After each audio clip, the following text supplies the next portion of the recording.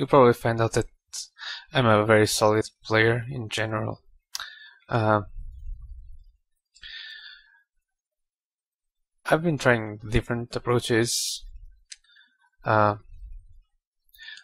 like defending more, defending less from the blinds, calling more, calling less from the button. Uh, I had like these uh, kings with ace and. Uh, I think it's a hand that can go both ways against a, a raise on the cutoff. Uh, some people will argue that it's a mandatory three bet because of its raw strength. But I think that, uh, especially in pot limit Omaha, uh, raw strength is not everything because uh, no hand is strong enough to to be mandatory to extract a lot of value pre-flop. There are circumstances with with the hand that are good to call or good to three bet, and I, and I base my decision a lot on the stack to pot ratio. I I imagine if I call or if I three bet how much the pot is going to be. Uh, in this case, if I three bet like to 40, the pot is going to be I don't know like maybe 48 or something like that. Uh, the if he calls, the pot will be 100. I'll be three. 3.5x behind, which is a fine stack to, to get it in with a, with an overpair and an overcard, and maybe some some other, some more equity. If I if if that if I had a stack like six hundred dollars, then I would uh, think the call was better. Just because I don't want to to to three bet and be with five times pot behind. I think five times pot is a very bad stack to pot ratio to have uh, an overpair uh, because I'll, I don't want to, to get it in with a naked overpair uh, ever with uh, five times the pots.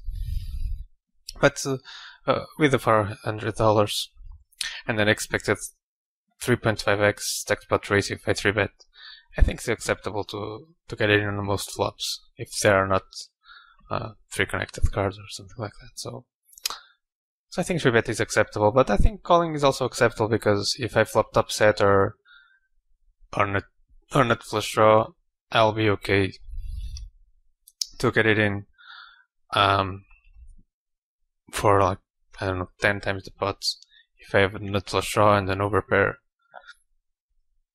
On most flops, I wouldn't mind that. So, I decided to just call. I think I think I hand like these flops very strongly.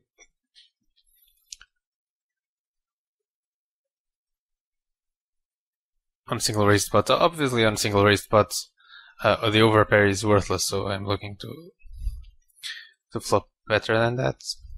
Plus, if I got squeezed by the blinds, uh, I could probably get it in, just because I think I can crush uh, a blind squeeze range.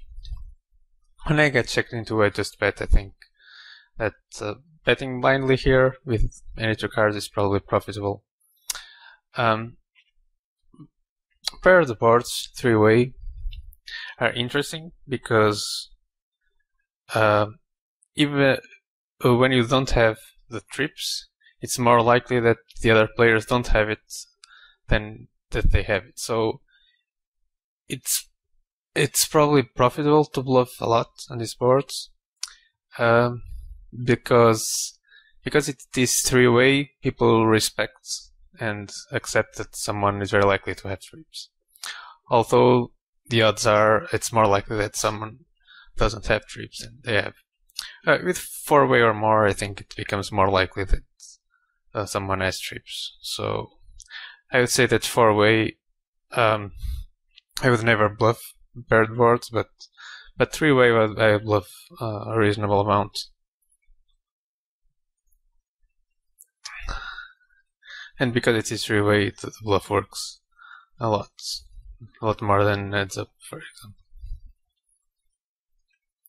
And the other thing is, uh, well, if I, I have kings, so if um, if I have the best hand on the flop, I'd like to protect it against a lot of things, like flush draws, gutshots, and people are likely to, to check fold flush draws on a paired board.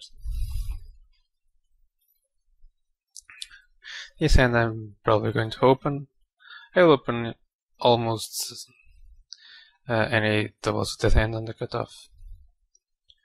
Unless I have a pair of deuces or something like that.